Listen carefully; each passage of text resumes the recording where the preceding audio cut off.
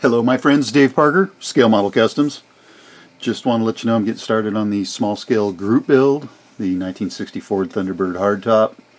132nd scale, uh, so we've officially kicked it off. I've got uh, some of the sanding done, removed the emblems and badging, which I never really like. Um, it's so small, look how little it is. Um, so it's moving right along. Not a whole lot of parts in this thing. Um, so I'm going to you know focus on the paint and the stance. Um, this is roughly the stance it's going to have if all goes well. I'm going to drop it down a couple millimeters. Um, like I said, I'm going to overcomplicate it. But uh, it's got these weird plastic wheels. It's so weird. I've actually been at um, places like Walmart and the Target looking at 132nd scale die-cast cars with rubber tires that I can steal.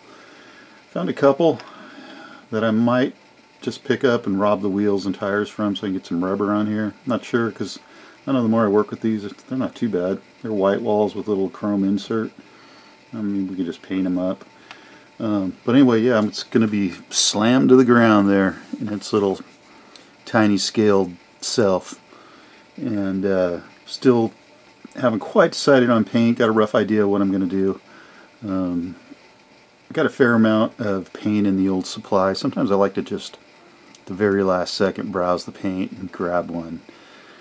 One that pulls my heart towards it. And I've, I've got probably 20 bottles of scale finishes up there, so I may just go through and randomly grab one.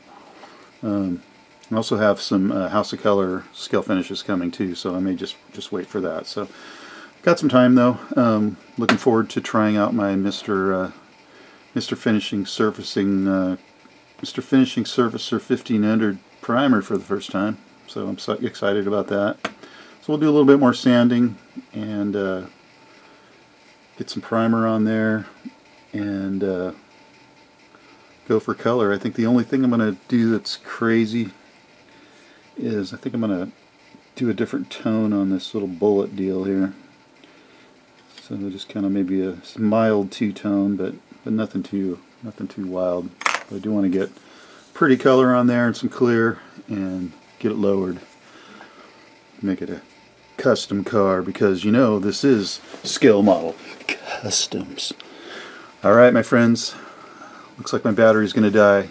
Thanks for watching Dave Parker's Scale Model Kustoms in the Scale Model Kustoms Garage. We'll talk soon. Bye-bye.